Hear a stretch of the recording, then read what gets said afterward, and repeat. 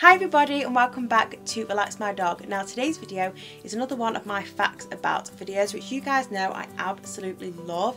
Today we're going to be doing a facts about Basset Hounds so if you want to learn a little bit more about this dog breed then definitely do stay tuned. Before we do get started though let me know down below in the comments any other dog breed you would like to see us do a facts about video on. As you guys know we love doing them here on this YouTube channel just I find it really interesting to research some new dog breeds that I might never have even heard of. Obviously obviously I've heard of a Basset Hound before, but you know what I mean. And so yeah, if you have any other dog breeds you'd like to see, any rare ones that you think um, other viewers would like to learn about, then definitely do let me know down below in the comments. But let's just jump straight in.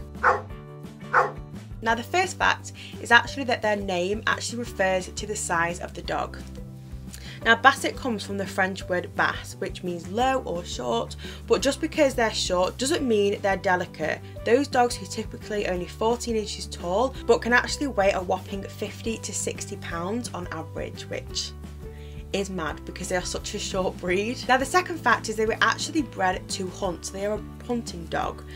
French aristocrats bred these dogs from bloodhounds to use while hunting. Both basset and bloodhounds were said to be descendants of St Hubert's hounds. They were used to track a variety of animals but especially rabbits and hares. The squat canines were tasked with scaring the animals out of the bush, allowing hunters to swoop in and nab the prey. Now fact number three is that they're actually the second best sniffers in the canine kingdom. Second to the one and only the bloodhound, these dogs have a serious sense of smell.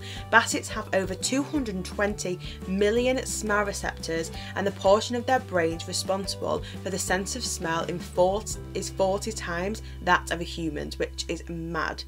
Using their complex noses, they can take in a big range of smells simultaneously and zone in on just one.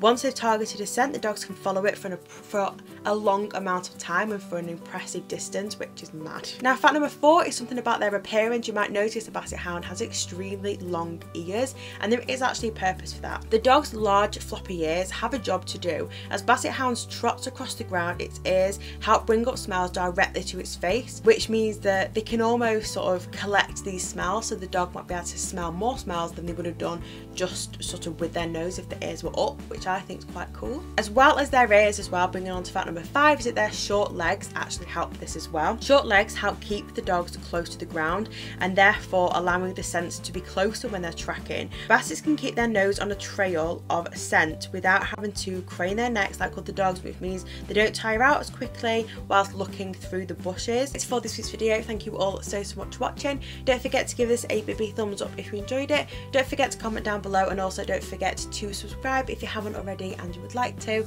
And me and Milo will see you next week for next week's video. Bye!